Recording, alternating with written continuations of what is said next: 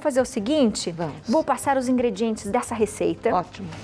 Primeiro a gente começa com pudim ou com a calda. O que você prefere, Dorinha? Vamos começar com a calda? Vamos começar com a calda. Para a calda, uma xícara e meia de chá de açúcar e uma xícara de chá de água. Sim, esses dois ingredientes. Pelo que nós recebemos dessa receita, nós vamos fazer o seguinte: você que está em casa vai preparar a calda colocando na panela o açúcar, Tá. Panela ele tá desligada. está desligado, Tá. né? Só que esse açúcar agora nós vamos, ao ligarmos, nós já vamos colocá-lo para ele ir dourando. Então ele, você vai deixando ele ficar bem douradinho.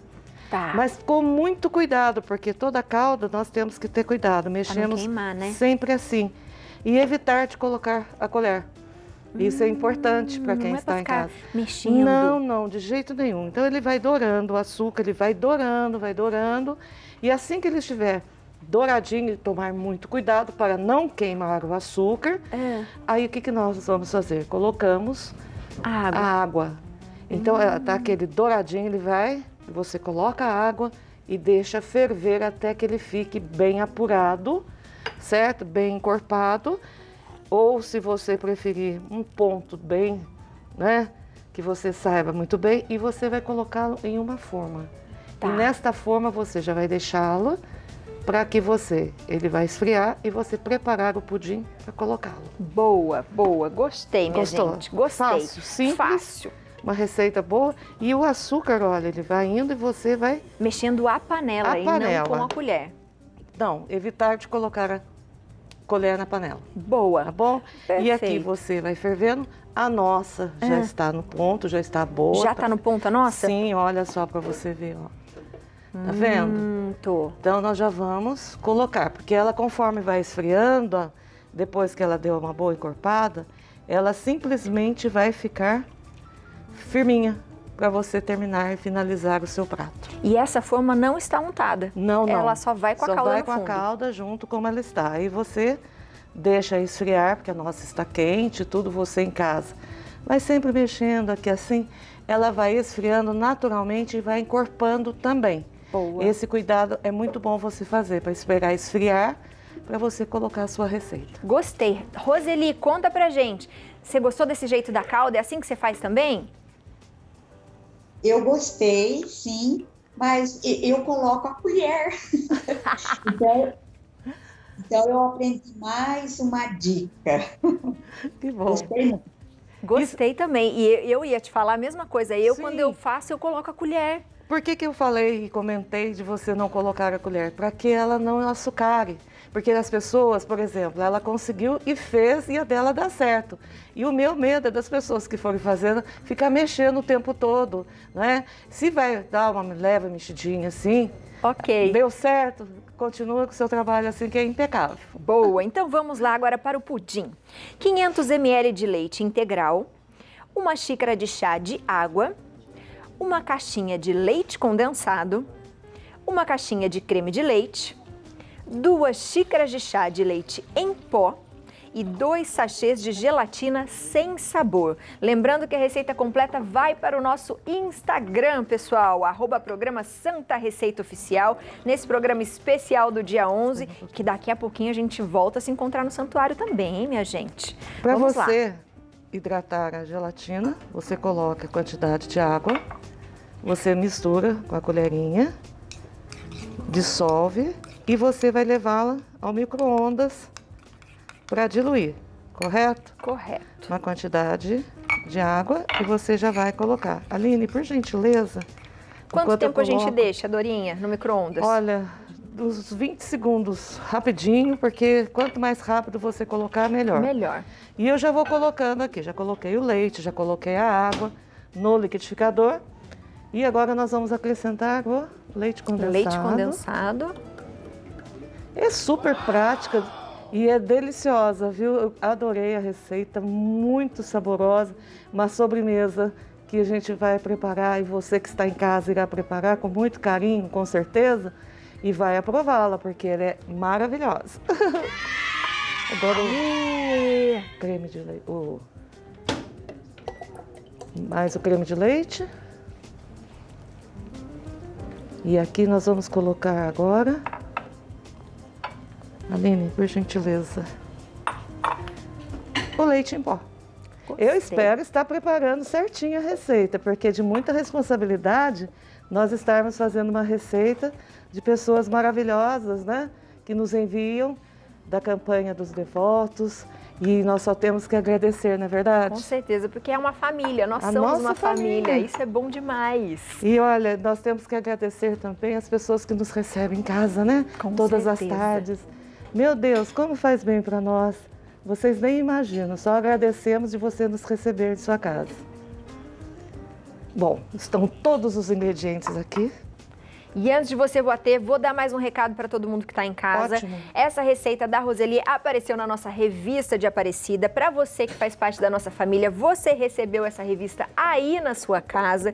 Você também pode levar, né, trazer para a gente a sua, a sua receita, que vai sair tanto na revista quanto no Santa Receita, demais, né? Agora, se você ainda não faz parte da nossa família, aproveita, minha gente, liga no número da Casa da Mãe, que a gente não esquece, 0300 210 1210. Essa revista tá linda que você vai receber a nossa revista de Aparecida. Essa de outubro está muito linda. E a gente tem também o nosso Jovens de Maria e os nossos devotos mirins também. Tudo para você e para sua família. Então aproveite, viu, minha gente? Agora simbora, Dorinha. Vamos lá. Agora vou ligar o liquidificador, que eu acho que até agora nós estamos fazendo tudo certinho, né? Acho que Espero. sim. Vamos, Vamos lá. lá.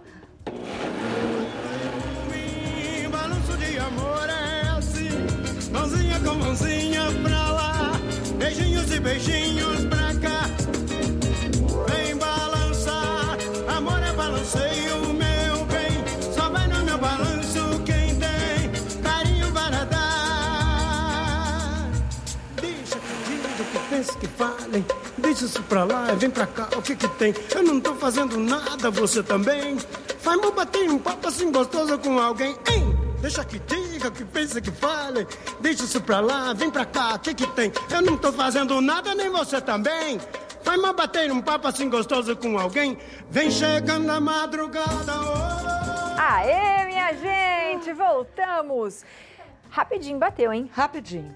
Você deve liquidificar até que ele fique bem Homogêneo. homogêneo. E o tempo que você for fazer na sua casa, você já vai observando, que às vezes tem certos liquidificador que fica em volta. Hum. E isso daí você é só desligar, passar a colher em volta, tudo. Sim, Boa. simples, né? Agora, simplesmente vamos colocá-lo, né?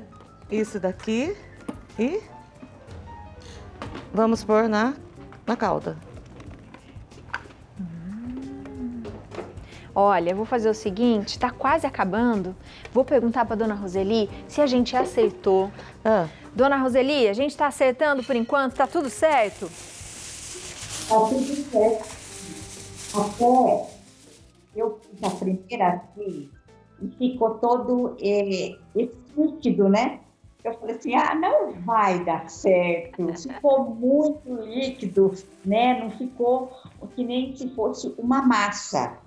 Mas falei assim, mas sim, eu vou ter, continuar testando. Aí que depois que ficou na geladeira, as horas que é preciso ficar, e eu desinformei e foi uma maravilha. Ai, que lindinha! E é ótima essa dica, porque realmente quando a gente olha aqui agora, fala, nossa, já bateu rapidinho, tá líquido. Então, ó, fica de olho aí, porque a dona Roseli vai falar pra você. Ela garante que vai dar certo, viu? Porque foi a mesma coisa que ela pensou.